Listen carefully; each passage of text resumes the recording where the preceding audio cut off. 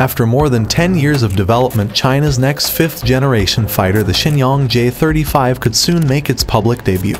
A fresh photo of the aircraft taken from a close range displays the fighter in its entire paint job along with what appears to be the Chinese Navy's symbol which will be its eventual operator. The fighter is an advancement over the FC-31 prototype also referred to as Guiyang a Chinese pronunciation for a particular kind of falcon.